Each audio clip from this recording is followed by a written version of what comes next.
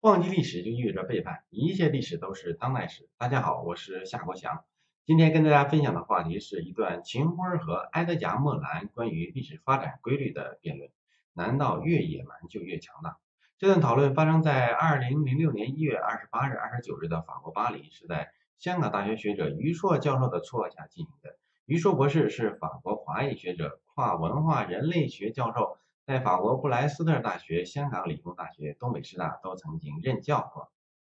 对话的一方，埃德加·莫兰是法国著名哲学家、社会学家，被誉为环球思想家。这位老先生是上个世纪二十年代生人，西班牙犹太人出生，在法语、西班牙语圈影响是更大一些啊。英语语系的人不太买账，我们中国人一般也不是太熟，学问应该是没有问题的。另一方是秦晖教授，清华大学教授，中华人民共和国历史学家、经济学家，自由派公知啊，公知现在已经不是好话了哈。于硕教授在他的文章中是这样形容莫兰和秦晖之间的对谈的：莫兰老人的眼神很有名，像狐狸一样明亮敏锐，不容黑暗，却充满悲天悯人的爽朗。秦桧的大嗓门也很有名，经常吼着说话，却流水般的推理，学富五车的引经据典。从历史到现实，从中国到世界，从善的文明理想到恶的野蛮逻辑，只是比老人显得更多些悲观。秦桧从福山的历史终结一书出发，质疑为何历史并不像福山所说的那样，文明战胜野蛮，在当代世界出现了传统类型的社会模式的国家的力量越来越强大的趋势。下面引用秦晖教授的原话啊，如果这话不对，也是秦老师的事儿啊。比如说，现在全球经济上出现了一种状态，就是在全球呃贸易化的状态下，福利国家竞争不过自由市场国家，自由市场国家又竞争不过使用奴工的国家，所以欧洲竞争不过美国，而美国又竞争不过某些国家，拥有低人权优势的国家从全球吸纳资本，向全球输出廉价商品，使得福利国家不得不降低福利标准，自由国家不得不重建贸易壁垒，形成。劣币驱逐良币的现象，而在政治上，冷战的结束曾经被认为证明了专制制度不行，但是多年过去后，不少人越来越觉得它似乎只是证明了比较温和的专制制度不行，而最严酷的专制制度反而存活下来，而且好像活得越来越滋润。莫兰教授断然否定了秦晖教授的说法。第一个，他认为当代社会并不存在像秦晖教授描绘的那种中世纪。野蛮战胜文明的情况。第二个，西方国家的野蛮化不代表着蛮族的胜利，而是西方人为了征服蛮族所做的自我调整。关于第一点，为什么莫兰说不存在秦晖所说的野蛮呃战胜文明呢？莫兰的意见是，秦晖所说的野蛮战胜上风的情况是不可持续的、暂时的。他举得日本、韩国依靠廉价劳动力取得经济奇迹，但最后到一定程度后也不得不接轨普世价值。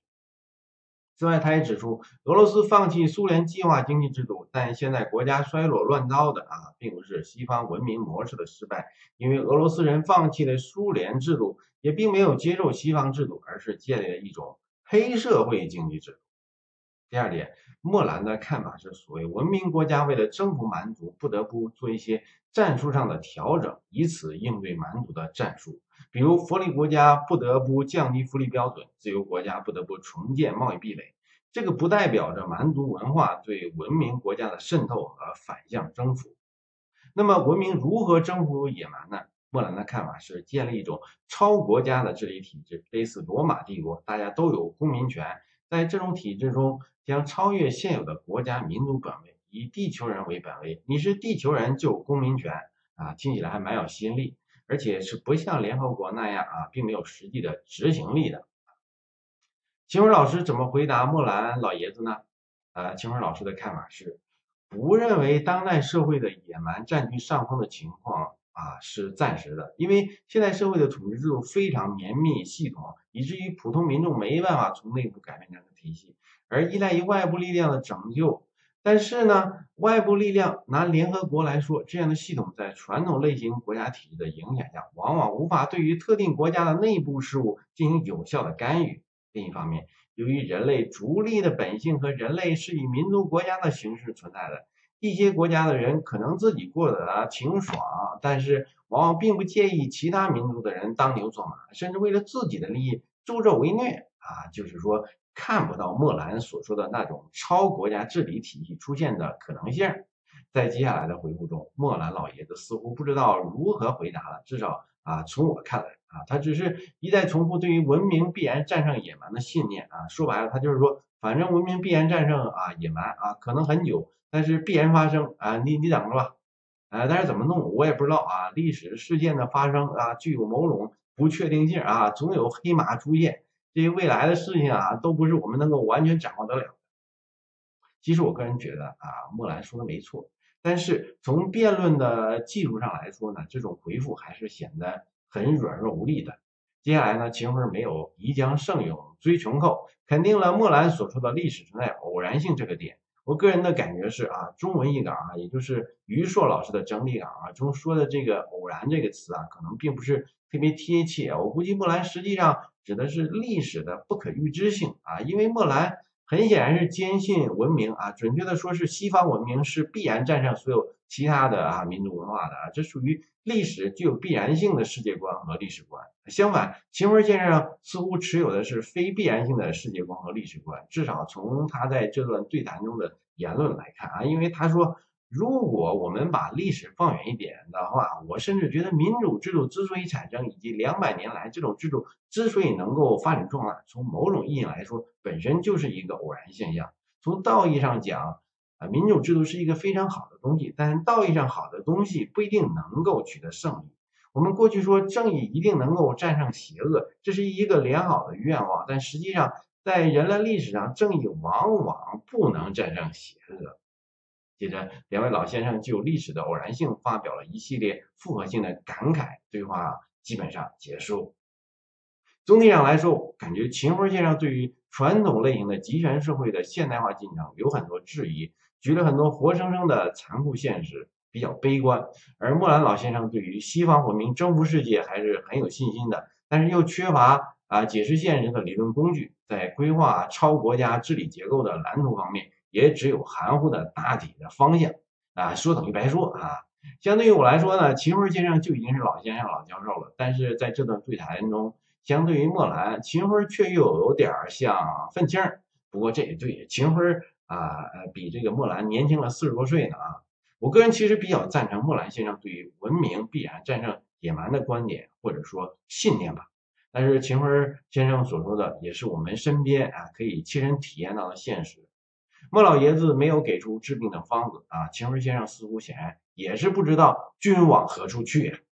对于他们的争论，我个人评论几句。我认为野蛮征服文明就是一个伪命题，不存在野蛮征服文明。任何征服都是文明对于野蛮的征服。小孩能打过成年人吗？傻子能打过正常人吗？成年人可能会被小孩打伤，但小孩永远无法从战略层面打败成年人。正常人可能会因为某些原因躲避傻子，但是他总有办法打败傻子，如果他想的话。有人说，那你怎么看日耳曼人征服罗马、五胡乱华、成吉思汗的征服，以及满族征服明朝中国呢？我们需要注意一个现象：历史上对于所谓呃文明国家、民族威胁最大的，并不是那些呃最野蛮的民族，而是那些和所谓文明国家、民族有密切交往。在一定程度上已经文明化的啊野蛮民族，真的是越野蛮就越强大吗？我们看罗马的灭亡，匈奴阿提拉部也围攻过罗马城，按越野蛮啊越强大的逻辑，肯定是他们征服罗马人，对吧？但是最终在西罗马帝国废墟上见证的并不是他们，而是洛莫温啊法兰克人。法兰克人很早以前就是罗马人的盟友啊，充当罗马正规军的炮灰兵啊。他们虽然也是蛮族啊，但是对于罗马的情况非常了解。类似的，五胡乱华时代的那些南匈奴移民呢，当时实际上已经进入塞内很多年啊。像呃这个前汉的建立者刘渊本身就有很深厚的汉文修养，蒙古时代没有契丹移民的帮助，蒙古人也是无法实现自己的崛起的。明末清初，传说这个努尔哈赤也是当过明朝大将李成梁的马便啊，不存在呃万里元朝战争对于东北社会的刺激，没有众多汉奸对清朝的帮助，清朝也是无法那么顺利的啊就接明朝的班了。也就是说，野蛮人要征服文明民族，必须以自己至少在一定程度上的文明化为代价。如果以文化的坚守与否作为成功与失败的标准的话，不管是罗灭亡罗马的日耳曼人，还是征服东亚的南匈奴，征服大半个世界的蒙古人，征服明朝中国的满洲人，都并不是胜利者。年初的时候，我写过一个文章啊，也做过同主题的视频，就是论述不同文明啊在相互接触时会发生的短板效应，即融合态的社会的文明程度会低于原来高阶文明的文明程度。但是高阶文明的退化不是孤立的，而是伴随着蛮族文化的相对提升。也就是说，蛮族也被改变了。由于人类的总体文明程度得到了提高，所以当野蛮的日耳曼人征服罗马，以及南匈奴、蒙古人、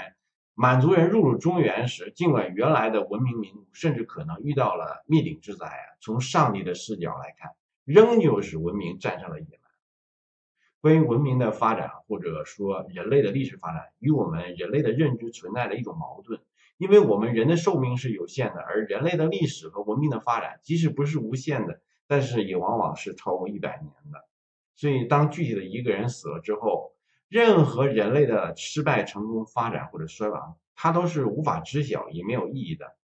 这使得人类对于历史的认知往往一种自我为中心的想法啊，以自身的不存在啊啊意味着哈就历史的终结。事实显然不是这样的，忘记历史就意味着背叛，一切历史都是当代史。今天的视频就到这里，感谢大家的收看。如果您有什么想法，欢迎在视频下方留言。我们下次节目再见。